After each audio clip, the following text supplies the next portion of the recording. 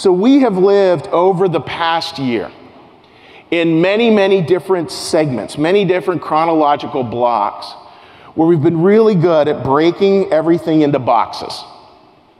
Are you this or are you this? And then it changed to the election. Are you this or are you this? And changed here, there. Everything's like, are you this or are you this? And these boxes, the hard part is the more we compare this box and this box, the more it keeps doing this. And, and I hope I'm not speaking out of turn. It's just, it's just what I experience all the time.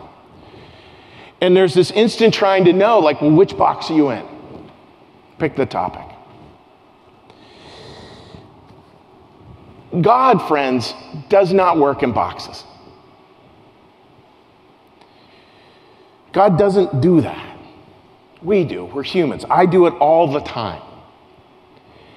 What God becomes is the fabric, the fabric of life, that wovenness.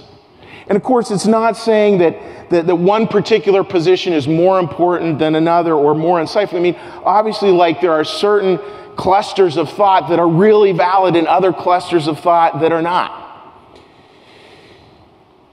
The challenge is when we keep on in the habit of constantly, constantly harping back to what box are you in? That breaks my heart. And that makes life hard. I mean, we can have all sorts of very, very simple ways to say it, say it and, and maybe it's time again to repeat some of those things that what we share is far more than what divides us. And if all we pay attention to is what divides us, that's all we'll find, is what divides us. That's a head trip. Hearts are different places. Love doesn't do that kind of thing. Love is able to encompass, embrace, arms wide open.